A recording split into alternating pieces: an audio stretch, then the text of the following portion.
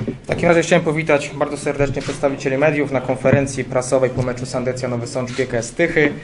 Chciałem powitać również trenera zespołu gości, pana Piotra Mandrysza i w zastępstwie naszego pierwszego trenera Jarosława Raszkiewicza jest Janusz Świerat, drugi trener, ponieważ pan Jarosław Raszkiewicz niestety źle się poczuł i, i nie może tutaj z nami być w momencie. Proszę o komentarz na temat meczu pana trenera gości.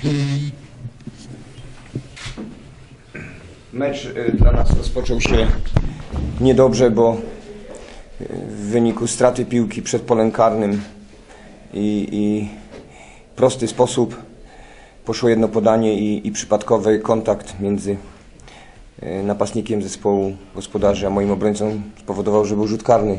Stąd od już od, od piątej minuty przegrywaliśmy 1-0. Mm, Ale myślę, że dzisiaj było widać, że zespół tutaj przyjechał powalczyć o trzy punkty. Graliśmy cały czas do przodu. Stwarzaliśmy sytuację. Pokłosiem tego były dwie bramki, które nas y, wyciągnęły na prowadzenie na przerwę. Zdawaliśmy sobie sprawę, że po przerwie zespół Sandecji nie mając nic do stracenia ruszy tutaj na nas.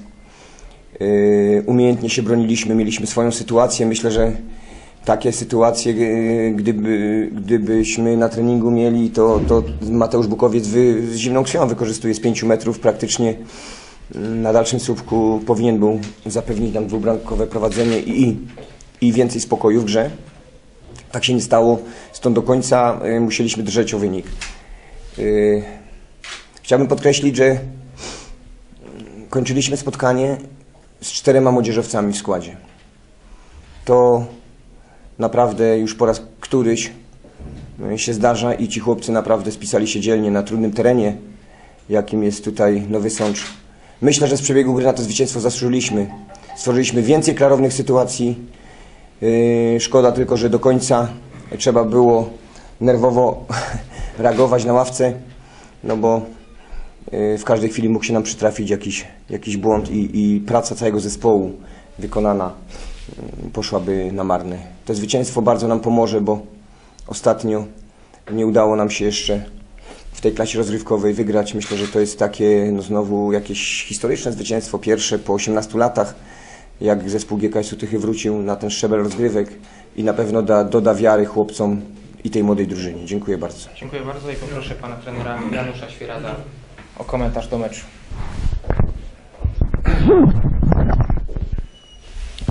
Y, Pierwsza połowa bardzo zła w naszym wykonaniu, nie ma co ukrywać.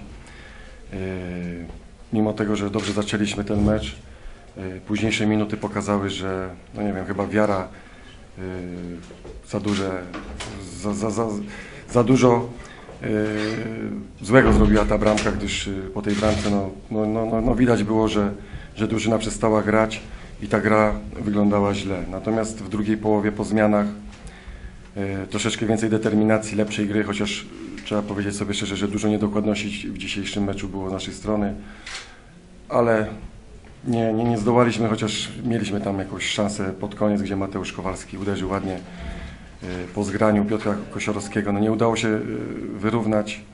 Szkoda, taka jest piłka, przegraliśmy, gramy dalej.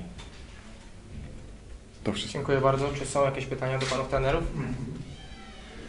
Janusz, ale jak można wygrać mecz, jednej, drugiej, drugiej połowie był jeden celny strzał na bramkę. Jeden celny, który zresztą wyłapał dobrze bramkarz. Wyda się mecz. Jesteś dobrym, doświadczonym grałem piłkarzem. No, do, dobre pytanie. No. Tak akurat dzisiaj y, to wyglądało z naszej strony, że, że tych strzałów nie było za wiele. Można powiedzieć, że nie było ich w ogóle. Ale druga połowa, mówię, no już było troszeczkę więcej determinacji, troszeczkę więcej ruchu na boisku. Y, Piłka nożna to jest taka gra, że mówię, na, na, najważniejsze jest przed meczem wyjść na, na boisko z, z głową nisko y, zwieszoną, natomiast po meczu nosić ją wysoko, a nie odwrotnie. Jeszcze jakieś pytania do trenerów? Jeżeli nie ma, to dziękuję bardzo.